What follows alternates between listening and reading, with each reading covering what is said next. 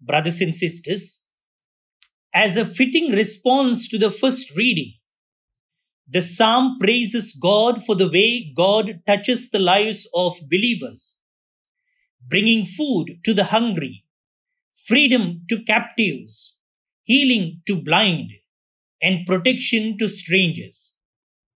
God truly deserves our worship for all the ways God brings salvation to us. Let's pray that psalm now. Your response My soul, give praise to the Lord.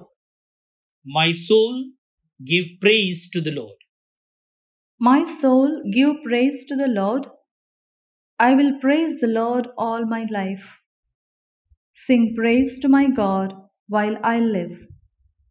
My soul, give praise to the Lord.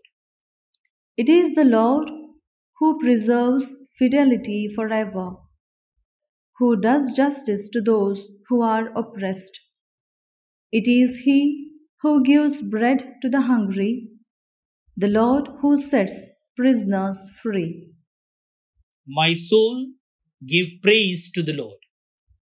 The Lord who opens the eyes of the blind, the Lord who raises up those who are bowed down.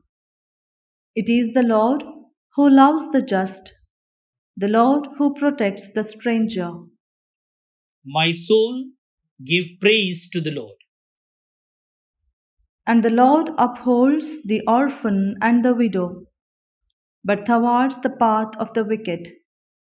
The Lord will reign forever, the God of Sion from age to age. My soul, give praise to the Lord.